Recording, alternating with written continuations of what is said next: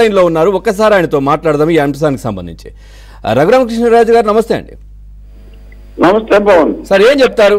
మీరు నిన్నటి నుంచి జరుగుతున్నటువంటి కూడా చూస్తా ఉన్నారు. దీనికి వాదోపవాదనలు కోర్టులో జరుగుతా ఉన్నాయి. అదేవిధంగా ముందే ప్రపంచానికి అంటే బాహ్య ప్రపంచానికి తెలియకంటే ముందే జగన్మోహన్ రెడ్డికి ఈ అంశం తెలుసు అని కూడా సిబిఐ వాళ్ళు చెప్పడం జరిగింది. వివేక మరణ వార్తకు సంబంధించి. సార్ ఏం చెప్తారు? అదే నేను ఇప్పుడు అది ఇప్పుడు జస్ట్ అబ్జర్వ్ చేస్తున్నాను మీ డిబేట్ హ్మ్. అందులో మా ముఖ్యమంత్రి గారి ఆ వాయిస్ వినిపించిన దాంట్లో చాలా స్పష్టంగా ఆయన తల మీద ఐదు సార్లు కొట్టారని చెప్పి గొడ్డలతో హ్మ్. ఆయన అంత స్పష్టంగా చెప్పినప్పుడు నాకు అనుకోకుండా ఒక ఆలోచన వచ్చింది. అప్పుడు నన్ను కస్టడీలో హింసించినప్పుడు సునీల్ కుమార్ వీడియోలో టెలిఫోన్లో అతను చూపెట్టాడు జగన్మోహన్ రెడ్డి. సార్ ఒక్క ఒక్కసారి నేను అది వినిపిస్తాను మళ్ళీ కంటిన్యూ చేద్దాం. ఒక్కటే నిమిషం. ఆ వినిపించండి ఒకసారి.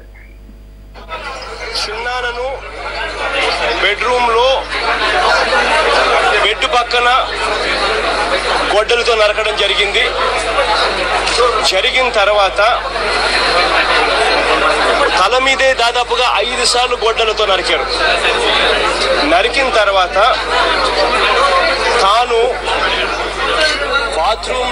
Sir continue sir. అదే ఇది విన్నప్పుడే నాకు వచ్చిన ఐడియా ఏంటంటే అంత స్పష్టంగా. చూసినట్టే ఆయన చెప్పారు. ముందు ఇక్కడ ఇక్కడ ఎలా కొట్టారు తర్వాత బాత్రూమ్లో ఎలా కొట్టారు. సో ఏ రూమ్ ఆ రూమ్ జరిగిన సంఘటన ఎన్నిసార్లు కొట్టారో గొడ్డలతో అని కూడా ఆయన అంత స్పష్టంగా చెప్పారు అంటే. బహుశా నన్ను హింసించినప్పుడు ఎలా అయితే అది నాకు తెలుసు సునీల్ కుమార్ ఏదో మూతికి గొడగట్టుకుని. ఆ సెల్ ఫోన్లో చూపెట్టాడు అన్న సంగతి నాకు క్లియర్గా తెలుసు అనే ఆధారాలు ఉన్నాయి సో అదే రకంగా ఈ హత్యాకాండను కూడా ఎవరైనా చూపెట్టారా అనే అనుమానం వస్తుంది నాకు.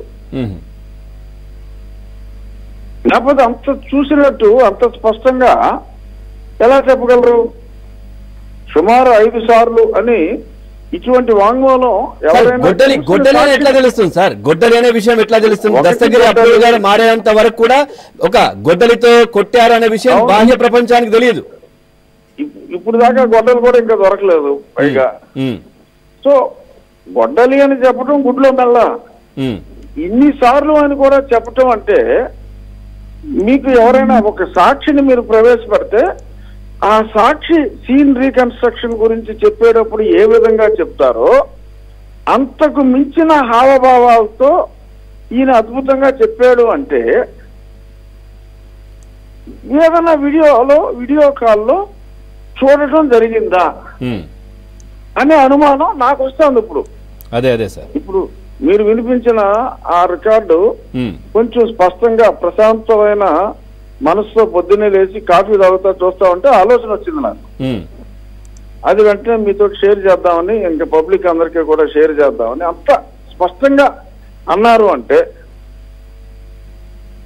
ఇది నా అనుమానం. ఉదయ అనుమానం ఉదయమే నాకు వచ్చిన అనుమానం. Right okay sir thank you.